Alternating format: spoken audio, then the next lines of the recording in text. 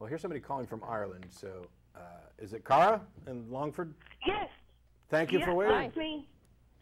Oh wow! I can't believe I'm through, and to my two favorite hosts as well. Awesome. Um, hi. Um, how are you? Hi.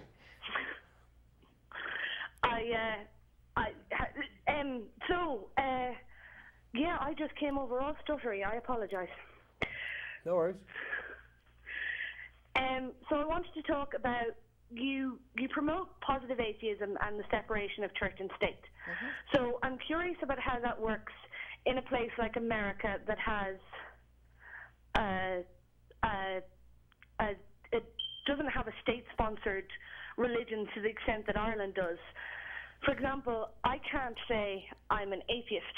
I have to say non-Catholic and sort of explain from there, because there isn't there isn't a word in my small town, my small community, for atheist that is satisfactory to the people I interact with. Hmm. You know, and and we have we have we don't have separation of church and state in terms Yeah. of like Easter and Christmas and things. Everything shuts down. Mm-hmm. You Well, know, everything that's shuts down here, too. There. Everything shuts Yeah. down here too for, E- or almost everything for Easter and mm-hmm. Christmas. Actually, mostly Christmas. Um, and, and that's actually just a matter of practicality because Christmas, despite having um, some fairly strong Christian origins, is not, in fact, a Christian holiday, at least not the way it's celebrated in the West. When you ask people to list the five or ten things that they first think of when they think of Christmas, uh, Jesus and anything religious would be lucky to crack the top five. Um, because the things that they think of, you know, presents and dinner with family and snow and snowmen and trees and shopping and none of those things are, are Christian. And some of them, I mean, Christian was actually expressly outlawed by Puritans and others uh, who were Christian.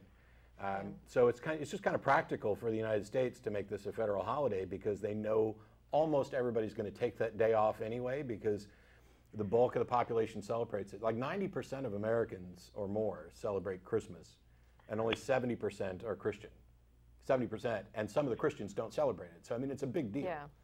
But as far as church state separation, uh, I don't know that you can actually get proper church state separation when you have a state religion, but there are ways to lobby for laws that uh, would establish something something like church state separation that would say, yes, in, in fact, we have a state. I would actually be lobbying to abolish the state religion. Yeah. Um, and there are places that have done that. It's just, you know, in the UK, well, in, in, it's going to be different in Ireland, and I apologize. Uh, in the UK, the C of E is pretty much a big joke, and nobody really cares that there's a state religion because it, it does, just doesn't factor into much of anything. In Ireland, it's different. Very different. You say that Christmas is about, you know, family and stuff. Here, it's about are you going to midnight mass or morning mass? Yeah. And if Yeah. you're not going to either, what's wrong with you? Yeah. You know, I think, I think what you need, oh, go ahead. No, uh, what I was going to say is one of the things that you can do, and, and this is if you're comfortable being out as an atheist, is to be, be open with the fact that you don't believe. Um, I mean, this is one of the things that I think really turned the tide for um, the whole gay rights movement um, was people being open about it and not hiding in a closet. No, I understand that, and I mean that's a huge thing. And my my family are are atheists. Well, Yeah. my mother would tell you she's a pagan on a bad day, but uh, Yeah. but um, but also I do a lot of volunteer work in my small town, and I'm interacting with nuns quite regularly, and.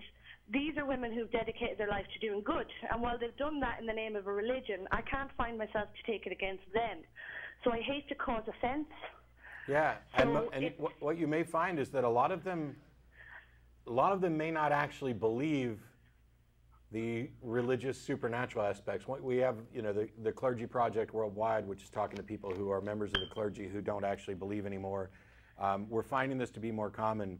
Uh, I, my hope is that someday you'll be able to, to say you're an atheist and people, the Catholics around you won't be confused uh, because we've, we've Not just educated them. confused, upset.